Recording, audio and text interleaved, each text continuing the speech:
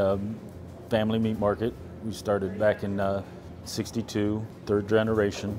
Uh, we do everything from coming in live to smoking meats, sausages, all the porks. Uh, we even do uh, custom for farmers to bring in their animals. And we take care of them for them.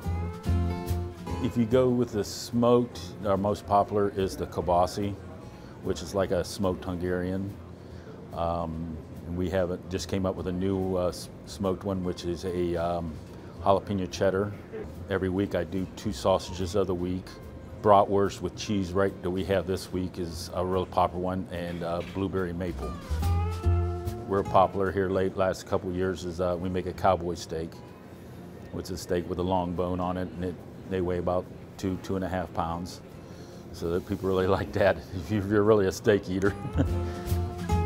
if you come in here wanting something special, we try to accommodate you to, you know, a lot of times it's what's in the newspaper. You sometimes you see a trend on things, you know, newspaper puts them in, you know, uh, those um, recipes out, and if it's something that's different, you'll start seeing a flux of people coming in asking for that item.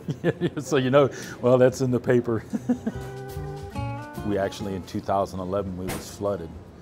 And when we opened back up, they was just, some of them coming, you know, when we was cleaning up and everything, they was like horrified. You guys are going to come back, right? You guys, and it's been a rough road, but we've pretty much made it back. So I wish we would ship, be able to ship because people from California, Florida, North Carolina that used to live in this area always calling wanting to know if we can send them meat and I can't. But they'll, or when they're in town, they'll come and pick it up themselves.